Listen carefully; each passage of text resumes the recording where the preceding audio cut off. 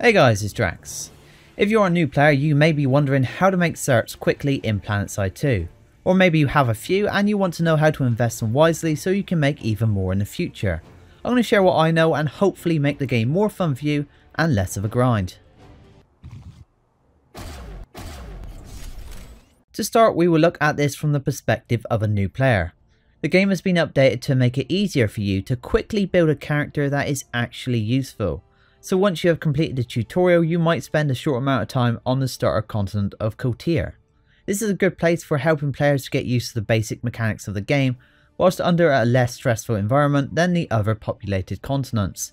It can be quite empty and boring though, so you might want to move to the main continent and look for a medium 24 to 48 battle even before you hit battle rank 15. A good class to start with here is the Heavy Assault, I say the heavy assault as it has an overshield which protects you from damage when pressing F, and the nanoweave armor is maxed out by default now thanks to game changes, and this resists small arms damage by 20%.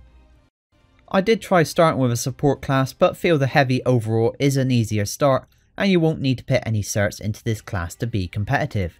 You can also equip these two basic implants by default to assist you on any class. And basically the heavy assault gives you the ability to do damage to everything, and that's how I recommend starting the game, shoot everything. Not friendlies though. Every bit of damage you do will count towards assists or the kill. And just a note here while we're talking about kills, relating to starter weapons, most are excellent and very well balanced, some guns may look better but usually the starter weapons are the best all-rounders and long time players will continually use them. So how much are these kills worth? Well, infantry are worth 100 XP, that's with no modifiers. If you get a high threat kill, this is worth 150 XP. And if you get an extreme menace kill, then that is worth 300 XP. 10 kills with any weapon also gets you a ribbon which will net you an additional 250 XP and the first 5 ribbons of the day are worth double so it's always worth logging in to get at least those 5. You get 1 cert for every 250 XP you earn Kill assists are worth 25 XP, critical kill assists worth 50 XP, so 2 kills and a crit assist by default will net you 1 cert. Your rocket launcher is your armor killer, and armor is always worth a few certs for the kill. Even if you don't get the kill though, assist XP can be very good depending on the damage you have done. The launcher is also useful for taking down max suits. Max kills are worth 200 XP and vehicles range between 300 to 500 XP. As a new player during the start of the game, you will get given 100 certs for each rank you go up until you reach battle rank 15 where you will have the chance to reset these certs. You'll also be able to attack the basic directives which are fairly easy to complete and will net you an additional 200 certs. So when you have completed them and made a few certs from shooting at everything, in what class do you invest those certs? A support class of course. And this is either the engineer or the combat medic, and I'll tell you why. In general play you can earn more common ribbons with these support classes on top of more XP per hour. You might think you should spread your certs out so you can be more versatile, but I strongly believe specialising will give you more enjoyment and net you more certs. The Heavy, Light Assault and Max are primarily killing classes and most of their XP and ribbons come from this. Accurate players who are good with positioning will make the most of these classes, although Maxes have more health and quicker killing weapons so you will last a bit longer by default. This class does require support though so if you are playing with friends or in a squad you will generally last a lot longer. If you were to choose the Infiltrator you get ribbons for kills and recon, you can make this work well using deployable or darts, especially around points with a high density of enemies like towers, but in general, this isn't quite as efficient as the engineer or the medic. So let's talk about those support classes. The engineer has the ability to resupply via the ammo box which nets you 10 XP every mag it refills. Position is key and the ammo box can be certed into to work better. After resupplying 50 times you will get a reward ribbon. But that's not it for the engineer. The class's biggest cert gain comes from his repair tool. This tool is located in the third slot and can be inserted into to enhance cooldown. You will gain 5 XP per tick and a ribbon given to you once you have repaired 15,000 damage. This works great if you are a vehicle player who needs to repair often, but for maximum cert gain the best option is to get behind a max suit. Set up in the corner of a building behind him and give repair and ammo when needed. Maxes often draw fire so maintain a safe distance and use caution when moving in for a repair. So that is one option for gaining certs, but my favourite and still the best in my opinion is the Combat Medic. The Medic has a combi tool which is known as the Applicator and can heal and revive friendly soldiers, both of which need doing often. This tool is located in the third slot and can be maxed to a rank of 6 to improve heal and revive time. The applicator will revive your friendly to full health but in a slower or faster time depending on rank. The Combat Medic is the core of most good fights as the class enables friendly soldiers to get back up and keep defending or attacking a base. In most situations speed is key so ranking up the tool will help you greatly and will boost the amount of revives you can perform, boosting your cert gain. You will gain 10 XP per tick for heals and between 55 to 100 XP for revives. The medic also has a nano regen device in its suit slot, which has an aura that heals both you and friendlies in close proximity, this also will work towards healing ribbons. You must also not forget that you are a combat medic and you are allowed to shoot people. This class has the assault rifle and is more commonly called assault in other FPS shooters. Like the other classes, 10 kills with a single weapon will get you a ribbon the default weapons in general are fairly easy to use and accurate. Use your aura heal during fights to gain an advantage.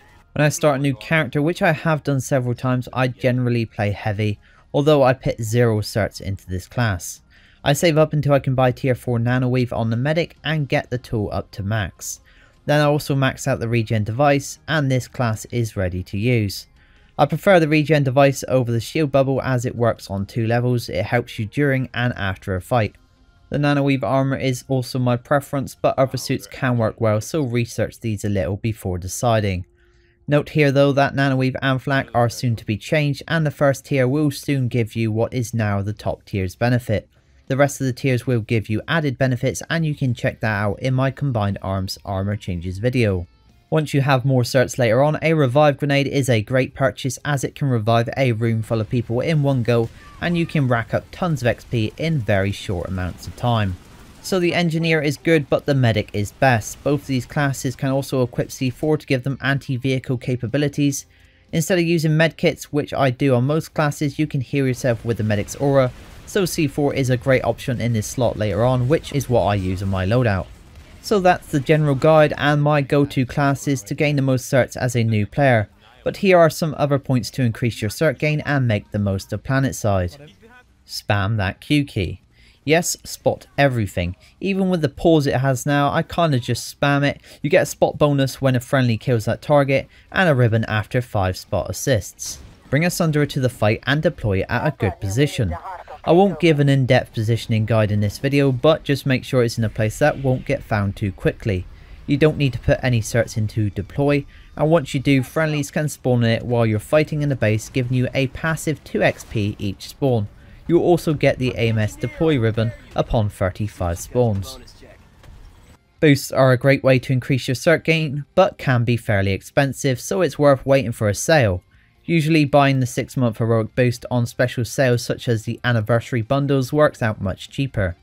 If you don't want to buy boosts yourself, you can join squads where players have boosts running, and these boosts can help you by 5% for each player who has one so maybe asking Yaocha every so often to see if you can join a boost squad.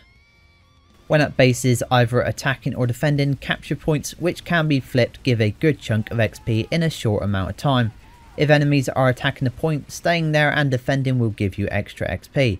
You also receive a point control ribbon after a certain amount of kills near the point. Capturing a base can give a decent amount of XP as well, but not if you are waiting around several minutes for the cap without kills. If a hex is overpopped with your faction or no one is spawning at the base, move to another base with an actual fight to maximise cert gain. Next is positioning and this is to lessen your deaths by resetting. That means stay close to corners and cover using them to pop in and out of even mid fight if you think you might lose. Maybe say the other guy got the first headshot. Try to get more 1v1 situations to keep yourself alive for longer. The longer you stay alive and affect the battle, the more certs you can gain. When the fight has died or very few enemies remain, check the map and move to a better fight when they are available. Fights of a population around 24 to 48 are usually the best and keep an eye on population so that it's balanced. Once again, shoot at everything, but this time I'd like to add with accuracy. The players with the best aim in this game tend to have an average mouse sensitivity of 800 dpi and in-game sensitivity of 0.125. I'm not saying this works for everyone and mine is set differently, but this is a good starting point for better aim.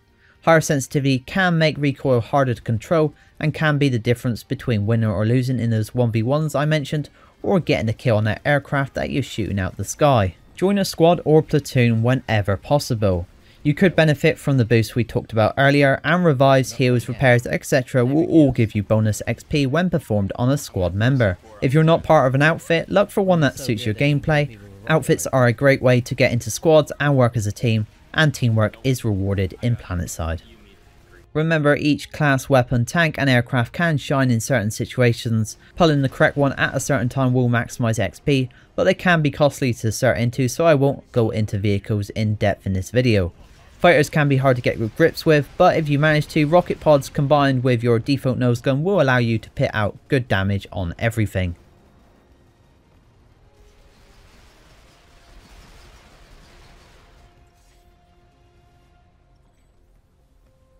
Mining and depositing Cortium with the Ant can give surprisingly good amounts of XP. I'm not sure I would recommend this to a new player, but if you have a good amount of time into the game and fancy trying something a bit slower pace where you are less likely to die, this might be for you. My average earnings were around 20,000 XP per hour. However, the constructed pieces are very expensive to start into, so helping another player with a base is probably a good idea to start with. For the final point, I will mention membership, which will give you an additional 50% on whatever you earn in game and a double XP weekend at the end of each month. If you play the game a lot and can afford this then I would recommend it. It cuts your grind time down and gives you other bonuses too. So that's it for this video. Hopefully it has given you a few tips to help boost your certs and increase your enjoyment in this game. This has been a brief overview. If you would like to see other videos on how to maximize your cert gain on specific classes or vehicles, let me know in the comments. Please like and subscribe for more helpful videos. Thanks for watching and I'll see you next time.